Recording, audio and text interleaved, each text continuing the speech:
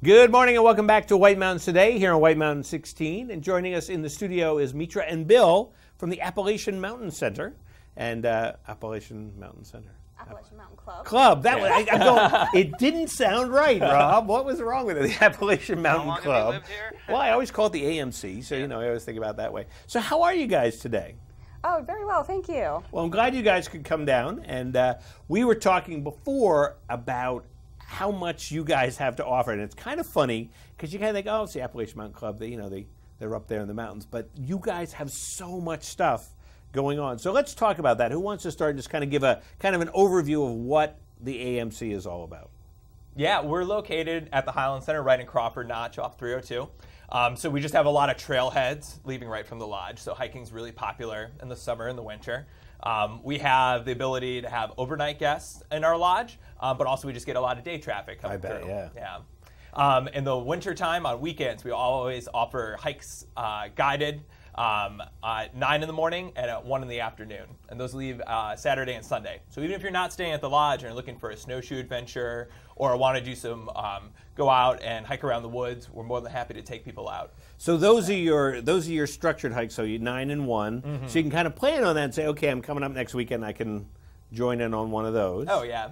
But then you also have the uh, we'll call them the, more the adventure hikes. So I, I'll Yeah. talk about where you can do a day, do an overnight, do several overnights. Yeah, so we do offer um, a slew of set guided programs. So the walk on programs are free and open to the public at the Highland Center. So you don't have to be staying there for the Highland happenings. You can just kind of um, just come in at 9 or at 1, completely free and open, and you have access to our gear room um, for the guided program.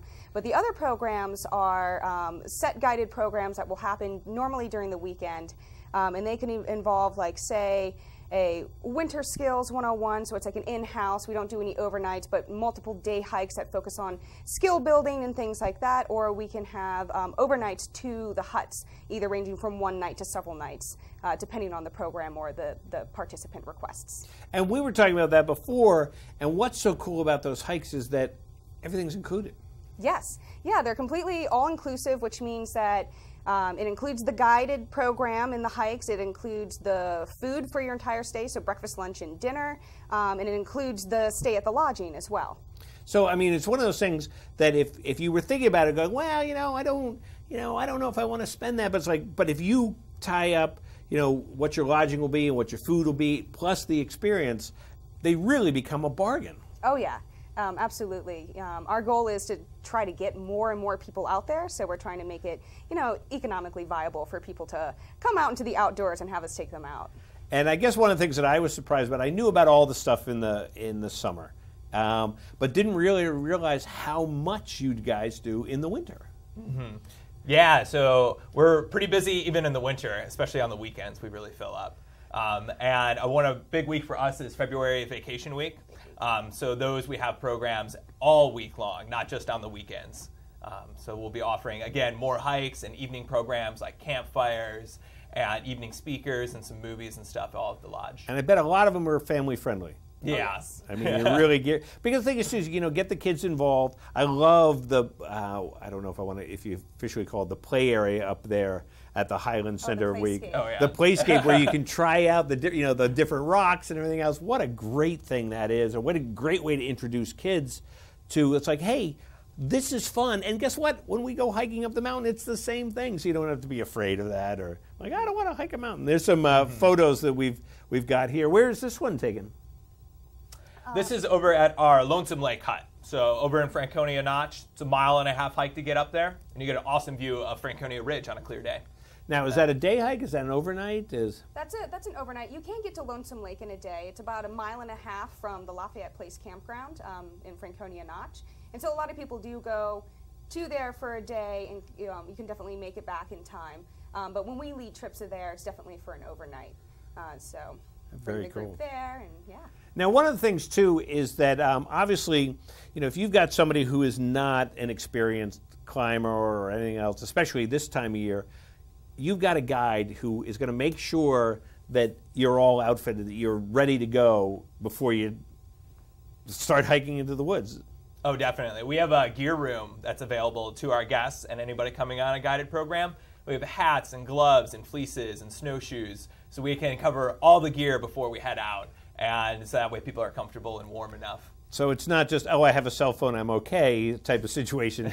You're making sure that they're all set and and I know uh, um, uh, my kids have went through the Bartlett School and of course they do a big hike in the fall of eighth grade led by you guys and uh, what a great experience and the knowledge that they come back with which is just an example of the knowledge you guys have to share with you know kids and families and hikers of all ages I guess we'll say.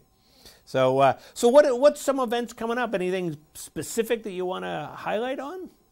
Besides the plethora of activities, but I mean, if there's anything, anything fun that you guys are looking for, forward to particularly. Well, we did mention Vacation Week. Um, that's a big one, especially for families and kids and things like that. So we will have a whole bunch of uh, programs, not just at the Highland Center, but also at the Joe Dodge Lodge and at Cardigan um, down in southern New Hampshire. Uh, so there will be some family camps, family adventure camps, where it's a um, kind of a all family, whatever constitutes your family, can come and there's a couple of guides and they take you out on guided programs. Um, so that's a that's the big thing that's kind of coming up Yeah. um, right now is the, is the vacation week. Uh, but we do, uh, like we said, almost every weekend um, have a program. Uh, so there is this coming weekend. I'll be leading a group of about nine participants to Lonesome Lake Hut um, for for a winter snowshoe adventure. So that's one thing that's coming up. Neat. Yeah, yeah. Now, I, I asked you before, but now I'm going to put you on the spot again. If you could, if somebody came up to you and said, "Mitra, what is the one hike you want to lead me on? Which one? Where would you take them?" Ooh, you know, I was saying that this is, it really depends on what the person is looking for. Yep. Um, if they wanted to do something very nature oriented and wanted to learn a lot about nature, say go birding or anything like that, um, I really like the Pondicherry National Wildlife Refuge down in Jefferson. Um, if they wanted like a real adventure or something like that, if they really wanted something that was um, very challenging, um, I'm very apt to do something like Mahoosuc Notch or some of the presidentials or something like that. That's great. What about you, Bill? I think the go-to at the Highland Center is you got to do Mount Willard. It's three miles on the round trip.